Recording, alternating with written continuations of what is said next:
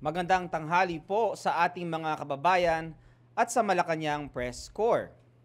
April 1 po ngayon. Sa mga kasama ko po sa gobyerno, simula po ng quarter 2 of fiscal year 2022. At April Fool's Day po.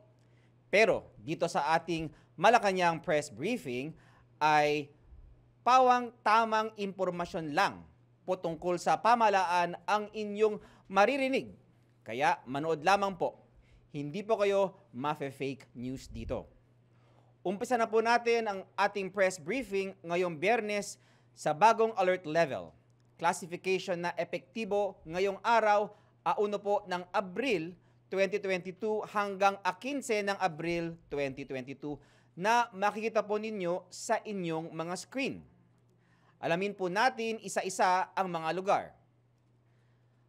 Al- Alert Level 1 mula April 1 to 15, National Capital Region.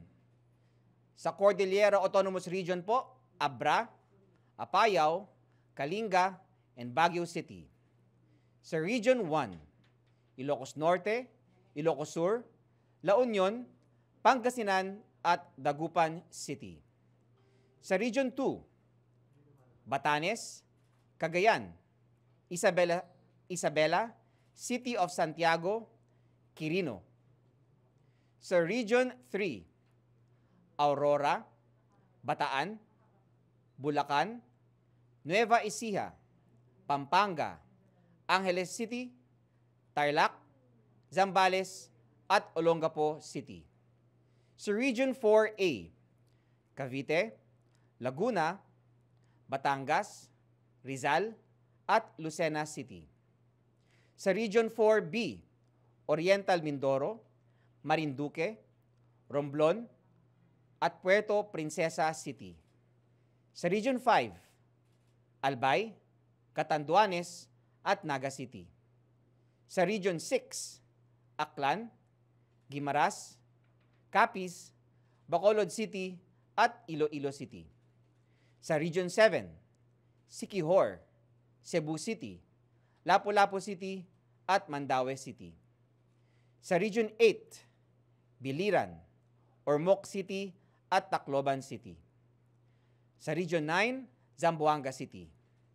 Sa Region 10, Camiguin, Bukidnon, Iligan City, Cagayan de Oro City. Sa Region 11, Davao City. At sa Caraga, Surigao del Sur, Surigao City at Butuan City. Sa loob po ng car, kasama po ang Ifugao, Lagawe, Lamut. Sa Mountain Province po, Besao, Bontok, at Sagada. Sa Region 2, sa ilalim po ng Nueva Vizcaya, Bambang, Bayombong, Dupax del Norte, Quezon, Solano, at Villaverde. Sa Region 4A po, sa ilalim po ng Quezon, City of Tayabas, Lukban, Mauban, Pagbilao, Plaridel, Polilo, Quezon, at Sampaloc. Sa Region 4B, sa ilalim po ng Occidental Mindoro, Lubang, at sa ilalim po ng Palawan, Culyon. Sa Region 5, sa ilalim po ng Camarines Norte, sakop po ang Daet at San Vicente. Sa ilalim po ng Camarines Sur, Bombon, Kabusaw, Kamaligan, Irigas City, Presentacion o Parubcan at San Fernando. Sa ilalim po ng Sorsogon, Barcelona, Bulusan, Kasiguran City at Kasiguran, Sorsogon City, Gubat, Huban, Magallanes at Prieto Diaz.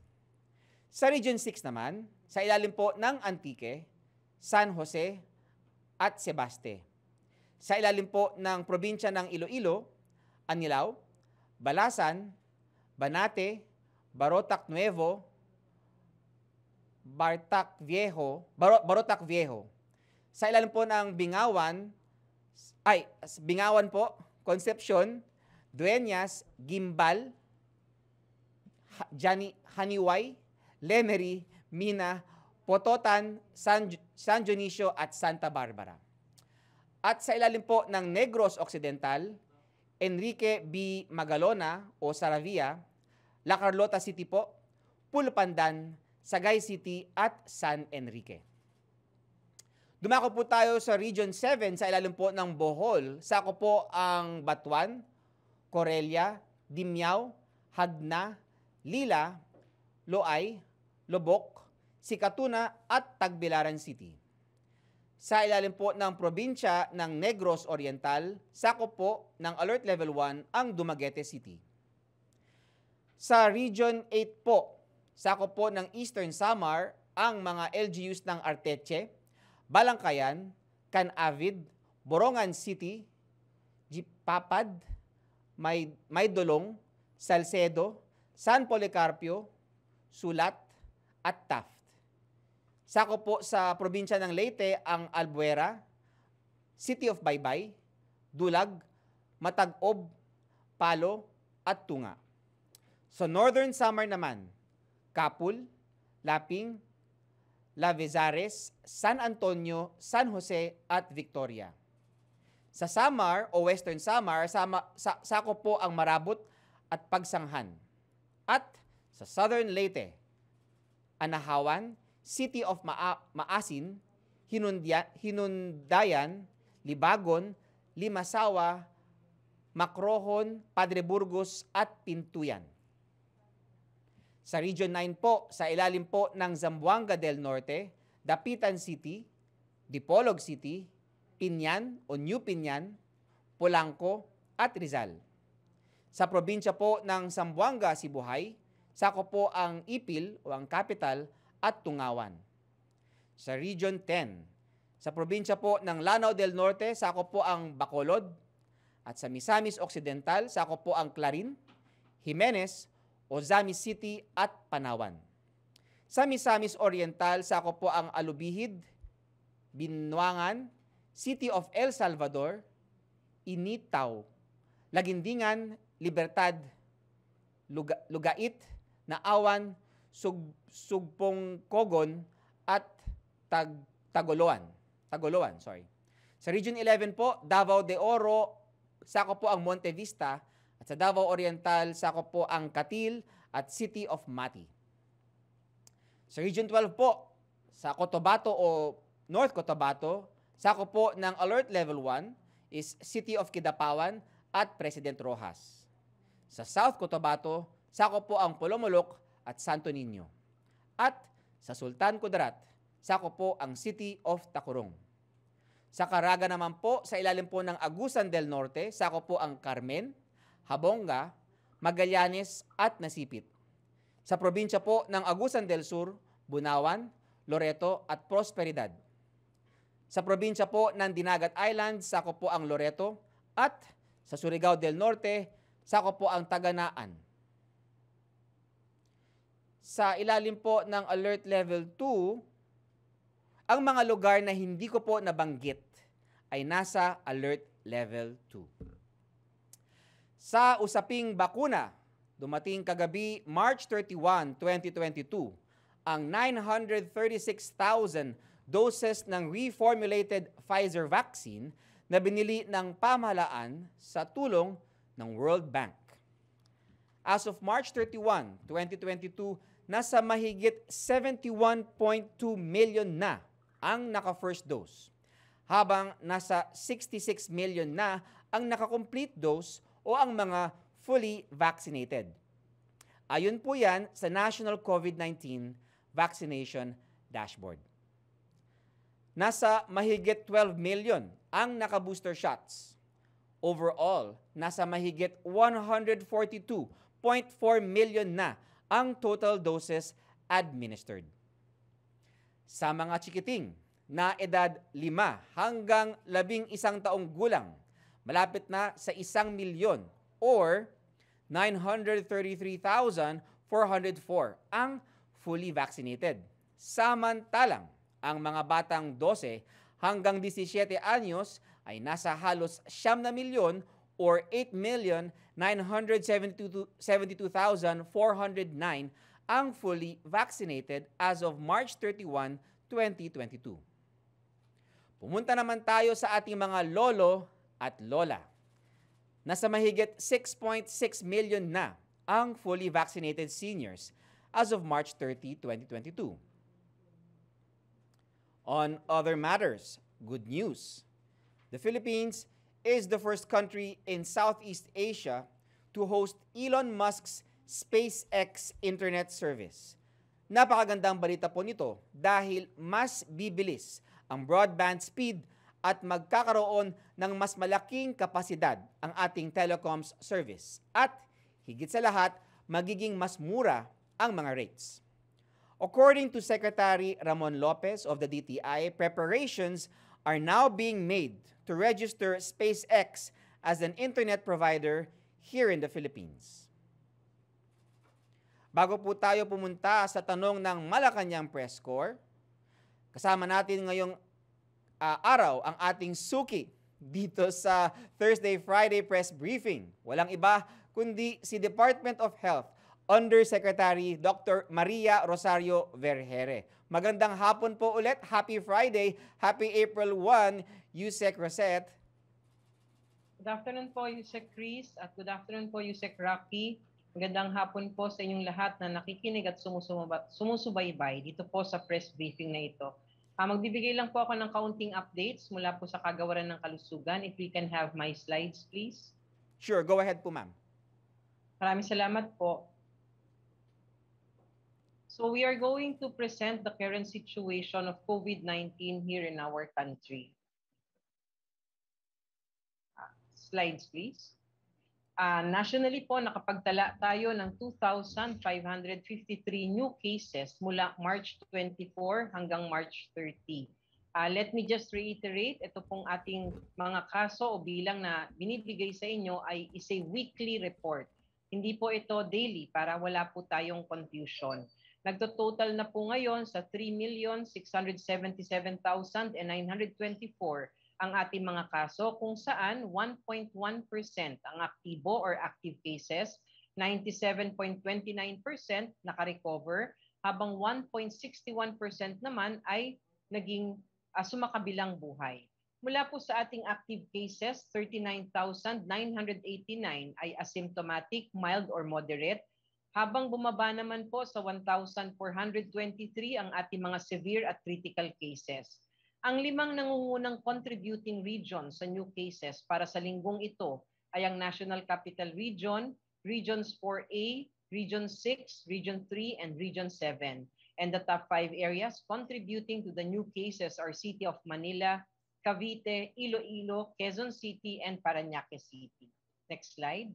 Batay po sa graph na ito, nakikita po natin ang pagbagal na ang pagbaba ng bilang ng mga kaso na nasa 24% noong nakaraang linggo at tinatayang nasa 364 cases per day ngayong linggo.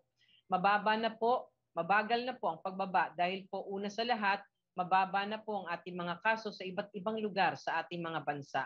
Mas mababa po ang ating mga kaso ngayon nang humigit kumulang 100 cases kung ikukumpara natin nung nag-uumpisa po tayo noong December last year. Ang pagbaba po ng kaso ay nakikita rin po natin sa lahat ng island groups sa ating bansa. Next slide. Isang magandang balita po, lalong-lalo na po sa may mga kamag-anak o kapamilyang gustong-gusto nang makauwi sa ating bansa. Ibinaba na po ng United States Center for Disease Control and Prevention ang risk level ng pagbiyahe dito sa Pilipinas. Ito ay dahil sa patuloy na pagbuti ng COVID-19 situation sa ating bansa. Sa ngayon, kabilang na po ang Pilipinas sa labing apat na bansa na isinailalim ng USCDC sa Level 2 or COVID-19 moderate. Ibig sabihin, ang mga bansang ito ay mayroon lamang 50 to 99 new COVID-19 cases in every 100,000 population sa loob po ng 28 days. Ngunit paalala pa rin po ng USCDC at ng Department of Health na kung hindi pa po tayo bakunado, iwasan muna po natin ang pagbiyahe patungo o pagbalik sa Pilipinas dahil mataas pa rin po ang tsansang kayo ay magkaroon ng COVID-19. Kaya muli, ang lahat po ay hinihikayat na magpabakuna at magpa-booster na sa lalong madaling panahon para naman po muli nating ma-enjoy ang ating paglalakbay. Next slide. Magtungo naman po tayo sa updates natin sa ating bakunahan. Next slide. As of March 31, 2022, humigit kumulang 65.9 million na ang ating mga kab- kababayan na fully vaccinated laban sa virus. 73% po dito ang ating target. Samantala, nasa 79% or 71.2 million na ang kababayan natin nakapagpaturok na ng kanilang first dose. Meron na rin po tayong humigit kumulang 12 million na kababayang boosted na. Para sa 44 million na eligible at hindi pa nakakapag-booster, magtungo na po tayo sa pinakamalapit na bakunahan at magpabakuna na po dahil kapag boosted ay extra protected. Para naman po sa ating pediatric population, meron na po tayong 933,000 children aged 5 to 11 na fully vaccinated na, habang nasa 8.9 million naman po ang bakunadong adolescent population. Isa pong magandang balita dahil sa ating special vaccination days, mas marami na po tayong kababayan na nagkaroon ng proteksyon laban sa COVID-19. Naabot na po natin ang 60% of the targeted population para sa ating special vaccination days. Sa katatapos lamang na special vaccination days sa Cebu Province, karagdagang 32,826 na mga kababayan natin ang nabigyan ng bakuna. Habat, habang humigit kumulang 42,986 naman ang nabakunahan sa Region 11, 1,621 sa Region 12, at 12,606 naman po ay nabakunahan sa BARM. Muli, hindi po titigil ang kagawaran ng kalusugan at ang buong gobyerno hanggang hindi po nababakunahan ang bawat Pilipino na nangangailangan po ng proteksyon laban sa virus. Magpabakuna na po tayo para ang pagbabagtas natin sa ating new normal ay magtuloy-tuloy na. Next slide. Ngayon po, magtungo po tayo sa ilang updates at paalala mula sa kagawaran. Nagdeklara po ang kagawaran ng agrikultura ng avian flu outbreak kahapon. Gayunpaman, hindi kinakailangang mag-alala ang publiko bilang ang chance po ng transmission ng avian flu sa mga tao ay mababa. Ayon po sa World Health Organization, ang transmission from birds to humans at humans to humans ng avian flu ay napaka-rare. Ibig sabihin, hindi po madalas nangyayari. Ngunit kahit na ganon, inaabisuhan pa rin po natin ang publiko, umiwas muna po tayo sa paglapit dito po sa mga wild birds, sa mga ibong may sakit, o dun po sa mga taong naging close contact ng mga ibon o mga fowls na mga may sakit. Gayun din, ipapractice pa rin po ang minimum public health standards. Tandaan po natin, ang avian flu po is respiratory infection. Ibig sabihin, yun pong ginagawa nating minimum public health standards ngayon, katulad ng pagsusuot ng mask, pag-uugas lagi ng kamay, pag-iwas sa taong may sakit, ay magiging epektibo rin po ito kung sakasakali na magkakaroon tayo ng infection ng avian flu dito sa ating bansa. Next slide. Para naman po sa another good news, nung nakaraang linggo, pinatupad na po ang Executive Order number 155 na nagdulot po ng pagbaba ng presyo ng ilang mga gamot at ito po ay yung maximum drug retail price. Kabilang po sa mga gamot na kasama dito ay mga gamot sa hypertension or high blood, diabetes, mataas ang kolesterol, asthma at chronic obstructive pulmonary disease at colorectal, lung and breast cancers. Binabaan po lahat ang presyo ng mga gamot na kasama dito. Magandang balita po ito para sa ating mga kababayang may karamdaman dun sa mga nabanggit ko. Gayunpaman, sa kagawaran ng kalusugan sa pamamagitan po ng universal healthcare, ang gamot para sa lahat ay sisiguraduhing sasapat. Next slide. Narito po ang ilang mensahe bago po tayo magtapos. Dahan-dahan na pong bumababa ang mga bagong kaso ng COVID-19 sa ating bansa. Nagpapasalamat po ang kagawaran ng kalusugan sa ating mga kababayan dahil sa patuloy na pagsunod sa minimum public health standards at sa pagpapaturok niyo po ng bakuna ipagpatuloy lamang po natin ito nang sa gayon mas mabilis po tayong makarating dun sa tinatawag nating new normal. At dahil nga po maganda ang naidudulot ng ating pagsunod sa minimum public health standards at mataas ang bakunahan sa ating bansa, ibinaba na po ng US Center for Disease Control and Prevention ang risk level ng Pilipinas sa level 2 or COVID-19 moderate para po dun sa mga travelers natin na patungo dito sa ating bansa mas ligtas na pong magbiyahe ngayon papunta sa Pilipinas. Ang ating mga kapamilya ay maari nang makauwi ng mas panatag ang kanilang kalooban. panghuli na abot na po natin ng 73% na target population na mabakunahan dito sa ating bansa laban sa COVID-19. Hindi po titigil ang buong gobyerno at ang kagawaran ng kalusugan na gawing mas available at accessible ang ating mga bakuna upang ang bawat Pilipino ay mas protektado at manatiling protektado laban sa virus na ito. Dito po nagtatapos ang aking presentasyon. Thank you very much and the floor is now open for questions. Over to you, Yusek Rocky. Maraming maraming salamat po, Yusek Rosette, uh, for the update. Sana po wag po kayong magsawa magbigay ng updates dito po sa ating press briefing. Uh, pumunta po tayo kay Undersecretary Rocky, Yusek Rocky, for our uh, Yes, question thank- and answers. Yes, ah, thank you Yusek Ablan and Yusek Vergere. Tanong, unang tanong mula po kay uh, Celerina Monte ng NHK. Uh, Yusek Ablan, is the April 8 talk between President Duterte and President Xi Jinping sa China ba o teleconference? Similar question with uh, Joe Montemayor ng Malaya. All right, no. Ah, kagabi po, no, ah, si President Duterte mismo ang nag-announce na meron siyang ah, meeting, no, with ah, ah, China officials. At ang alam po natin ay online po ang meeting na ito sa darating po na April 8. Opo. Follow-up question ni Joe Montemayor, sino daw po nag-initiate ng meeting? All right, ang nag-initiate po nito ay ang gobyerno po ng China. From NJ, uh, MJ Blanca Flor ng Daily Tribune, what will President Duterte tell Chinese President Xi Jinping during their meeting? Will they tackle the West Philippine Sea and the Ukraine-Russia crisis? Similar question with Joe Montemayor ng Malaya and Lay Alves ng GMA News. All right, in so far as we're concerned, no, this meeting is still in the preparatory preparatory stage. So, kung ano yung magiging issues saka matters na pagdi-discuss ng world leaders na ito ay malalaman natin in the coming days. Opo. From MJ Blanca Flor ng Daily Tribune, President Duterte said last night that he won't endorse any presidential candidate. Will this affect PDP laban support for Bongbong Marcos o tuloy-tuloy pa rin ba ang kampanya ng party members for BBM and Mayor Sara? All right, as mentioned by the president himself uh, yesterday, he remains to be neutral and is not endorsing any candidate. Kasi wala pa siya nakikitang compelling reason to make any endorsement. Uh, yun yung sinabi niya noon na in-interview siya ni Secretary Martin Andanar at ganun din po ang posisyon uh, hanggang ngayon po. Uh, no endorsement, uh, the president remains neutral until he sees a compelling reason to make an endorsement. Okay, yung follow-up question po ni Lay Alvis, nasagot nyo na pero basahin ko lang, baka may madagdag ka pa sa Chris. Ano ang dahilan ng Pangulo sa hindi niya pag-endorso ng kandidato sa pagkapangulo? Alright, so ulitin ko lang yung sagot, Yusek Rocky. Um, gaya ng sinabi ko kanina, uh, based on the President's statements a few weeks ago, when Secretary Andanar interviewed him, he will endorse if there is a compelling reason. Sa ngayon po, uh, wala pa rin compelling reason para mag-endorse si President Duterte. Thank you, Yusek Chris. Susunod na magtatanong si Mela Les Moras ng PTV.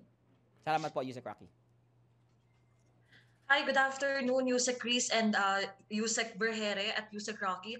Uh, unahin ko lang po yung questions about uh, alert levels uh, for Malacanang and DOH. Ano po kaya yung dahilan kung bakit hindi pa rin naipatutupad yung alert level 1 sa buong Pilipinas? Uh, ano po kaya yung mga kulang pa at uh, hindi nakakamit ng ibang lugar yung criteria for alert level 1? Uh, sige po, uh, Yusek Chris, I'll answer first. Yes po. Ah, thank you. Ah, yes, Mela, no? So, unang-una, kailangan maintindihan ng ating mga kababayan yung pag-de-escalate natin to alert level 1. Ah, meron ho tayo mga metrics na ah, sinusunod para ma-determine natin if an area is already eligible to be de-escalated to a lo- lower alert level like alert level 1. Sa ngayon po, pag tinignan natin ang case ah, classification ng lahat ng areas natin, low to minimal risk na lahat. So ibig sabihin they are already qualified no in terms of number of cases. Pag tinignan natin ang healthcare utilization, low risk lang din po lahat ng ating mga regional areas with regard no to the hospital bed capacity o yung hospital bed utilization. So kapag doon qualified lahat ng areas. Pero yung isa natin metrics na vaccination, doon po natin tinitignan at pinagtatrabahuhan natin lahat. So always remember, in order for us to be able to ensure that the, population will be adequately protected in spite of us easing restrictions, vaccination should be high para po protektado ang mga tao. And in terms of those 57 areas no na hindi pa ho na de-escalate, hindi pa po nila nararating no o na-achieve yung target for vaccination. That's why we still cannot de-escalate them to alert level 1. Opo. And uh, just a follow-up question for uh, Yusek Ablan. Uh, sir, for Malacanang side, ano uh, bahagi po ba ng uh, target na legacy ng uh, Duterte administration na makamtan sana yung uh, new normal sa buong Pilipinas bago bumaba uh, bago bumaba sa pwesto at uh, paano po ang panawagan nyo sa ating mga kababayan ukol dito? Thanks, Mela. Yes, of course. No? Kung ano yung in-announce ni uh, Yusek Vergere kanina, ayun din po no, ang uh, stance ng ating uh, palasyo. Uh, we are going to use everything under our power to achieve 100% vaccination and get back to our new normal before the President steps down on June 30. Opo. And um, isang question na lang po mula ah, para pa rin kay uh, Yusek Vergere. Yusek Vergere, patanong lang po ng kasamahan ko si Mark Fetalco. Uh, I understand na babanggit na rin po ito ng mga nakaraang uh, press briefing. Pero dumarami po kasi yung mga nananawagan para i-reconsider yung uh, uh, definition ng fully vaccinated sa bansa at isama na nga yung booster shots. Given na dito nga sa alert level 1 kaya marami pa ring lugar na hindi pa may sama sa new normal ay dahil mababa nga yung uh, di pa sapat yung vaccination rate nila. Uh, kino-consider na po ba ito ng DOH or uh, may bagong pananaw na po ba kayo tungkol sa issue? Uh, yes, Melano and Mark. Uh, ito pong uh, usapin ano, ukol sa redefining uh, yung fully vaccinated individuals. Ito po ay masusi ng pinag-usapan ng ating mga eksperto no, with our technical advisory group of experts. At bukod dyan, tayo po ay nag-research na. Uh, tinignan po natin ang mga iba't ibang experiences across the different countries in the world. Nakita ho natin that for example sa USCDC po sa United States, they did not redefine uh, ang fully vaccinated individual. Instead, ang ginawa nila, naglagay po sila ng another terminology which is up to date. Ibig sabihin, fully vaccinated still, yung dalawang bakuna na natanggap mo for your primary series, kapag naka-receive ka ng booster, nakalagay yon up to date ka dun sa iyong pagbabakuna. Ang main reason kung bakit ayaw pa rin ho mairekomenda ng ating mga eksperto na baguhin natin ang definition ng fully vaccinated because it's going to cause confusion uh, since marami pa rin po tayo mga kababayan na hindi pa rin po bakunado. Pangalawa, uh, ito pong ating primary series hanggang sa ngayon naman po kahit kaunti may protection pang binibigay sa atin. So ang sabi po ng ating mga eksperto, it would be better if we go to that direction where we can use another term like up-to-date vaccination so that we can encourage more of our citizens para po sila ay magpabakuna. Pangatlo, pag kasi ni-redefine natin at nilagay natin yung booster dose no as part of the fully vaccinated individual, uh, baka magkaroon huli ng confusion no uh, dun sa mga sinasabi nilang mandatory versus voluntary na pagbabakuna. Kaya gusto lang ho natin na ipatupad kung ano yung mas pinapractice po sa ibang bansa, mas may ebidensya tayo at sa tingin natin mas makakabuti para sa ating mga kababayan. So in the coming days, we will be issuing out an advisory para po rito, dito para inform lahat ng ating mga kababayan. Okay, maraming salamat po Yusek Vergere, Yusek Ablan at Yusek Rocky. Alright, maraming salamat po uh, Mela at uh, Yusek Rosette. We go back to Yusek Rocky po. Okay, thank you, Yusek Chris. Ang susunod na tanong mula kay Rafael Bosano ng ABS-CBN News. For Yusek Vergere, Ngayong pong araw na muling ibinalik ang pahalik sa Nazareno sa Quiapo Church, ano daw po yung dapat tandaan at gawin ng publiko kung nais sumalik sa poon lalo't maraming kamay at posibleng pati bibig ang dumapo dito, may dapat bang ikabahala sa ganito ding posibleng tumaas ang risk ng hawahan? Uh, yes, Rafi, no? So, unang-una, kung ano man po yung mga pinapatupad natin ng mga safety protocols dati, yun pa rin po ang ating ipatutupad kung ano man po yung mga advisories natin dati, yun pa rin po ang advice ng kagawaran ng kalusugan. Alam po natin kung paano natatransmit ang infeksyon. At dito po sa ganitong practice, katulad ng paghalik sa mga poon, maari pong magkaroon ng pagkakahawa-hawaan. So nag-a-advise po tayo sa ating mga kababayan na kung may iwasan naman po na humalik sa mga poon o kaya ay gumamit na lang po tayo siguro sa kamay at uh, ilagay sa ating noo pero wag nang hawakan ang ating ilong at bibig kapag ginawa natin yan dahil alam po natin na maari po tayo mahawa ng infeksyon kung gagawin natin yan. Patuloy po natin ipatupad ang minimum public health standards. Magugas kayo lagi ng kamay. Uh, magsuot po kayo ng face mask. Huwag po kayong pumunta sa matataong lugar. At doon po sa paghahalik o paghahawak sa mga poon, uh, siguraduhin niyo po uh, na hindi po tayo pumalik doon sa poon kapag marami ng tao ang gumawa nito. Uh, mag-ugas lagi po kayo ng kamay kung kayo ay humawak nito. Huwag niyong ihawak ang inyong kamay sa inyong kamay at uh, sa inyong bibig at ilong para makaiwas po tayo sa pagkahawa-hawaan. Nakikiusap din po tayo sa ating mga churches uh, kung sakali po uh, baka pwede po tayo makipagtulungan sa kanila na iwasan muna po natin yung mga activities that uh, can have increased risk of uh, transmitting infection to our citizens. Opo. Thank you, Yusek Vergere. Susunod na tanong mula po kay Caroline Bonki ng CNN Philippines. Yusek Vergere, the US FDA has approved the administration of a fourth dose or second booster to elderly and immunocompromised individuals. How will this development affect the ongoing AEG review on this? May update na po ba daw? Uh, yes, Caroline, ano, uh, this will affect it positively actually. And actually, ginagamit na po namin yung mga ebidensyang nakalap natin even coming from the US Food and Drug Administration. Kasama naman po lagi, no? Because FDA uh, of the United States, uh, isa po yan sa mga stringent regulatory authorities. Tayo po ay nagsumite na ng, uh, ng uh, request to amend the EUA of our vaccines. No? So inaantay lang ho natin ang FDA together with their experts to issue out no kung makakapag-amend tayo nitong EUA tsaka po tayo makakapagpatupad dahil may initial recommendation na rin naman ang ating vaccine expert panel regarding this. So nakikiusap po tayo dahil marami po ang nagtatanong kung mag-uumpisa na daw po ang fourth dose, uh, magantay lang po tayo ng abiso galing sa kagawaran ng kalusugan kung kailan po natin na uh, uumpisahan yan. Inaantay lang po natin na ma-amend ang Emergency Use Authority coming from FDA para sa mga bakunang gagamitin dito. Opo. Thank you, Yusek Vergere. Yung susunod pong tanong ni Caroline Bonki ng CNN Philippines, Yusek Vergere, nasagot nyo na about doon po sa classification ng uh, fully vaccinated na tinanong po ni Mela um, Les Moras.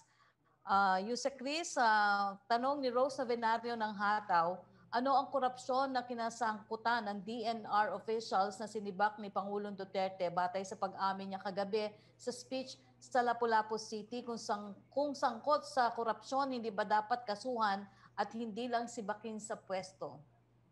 Alright, maraming salamat po Yusek Rocky at Miss Rose.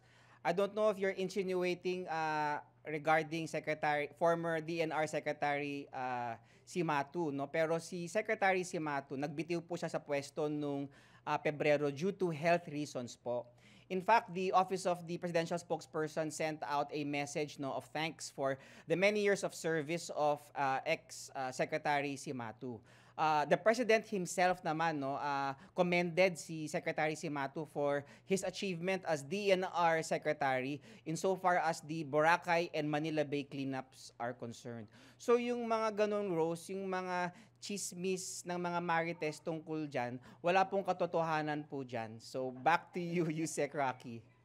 Opo, pero ang uh, sinabi po ni Rose dito, DNR officials officials po kung uh, hindi lang po yung isang sinang binanggit dito ni Rose. All right. So if if kabuuan po 'yan ng DNR officials, meron naman tayong mga proseso na fina-follow dito po sa executive branch. Meron po tayong uh, ombudsman, meron din tayong mga uh, abogado sa o, uh, OSG at meron tayong uh, Sandigan Bayan. So dadaan naman po tayo sa tamang proseso. Kung meron po talagang proof na may corruption na nangyari. So we have to trust our institutions and we have to trust our processes.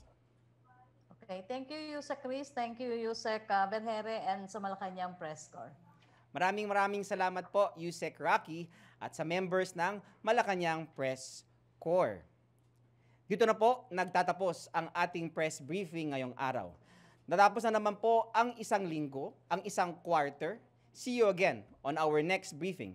Stay safe, stay, stay safe and healthy everyone. Lagi po nating tandaan, sa totoong impormasyon, tama ang ating desisyon. Happy weekend everyone.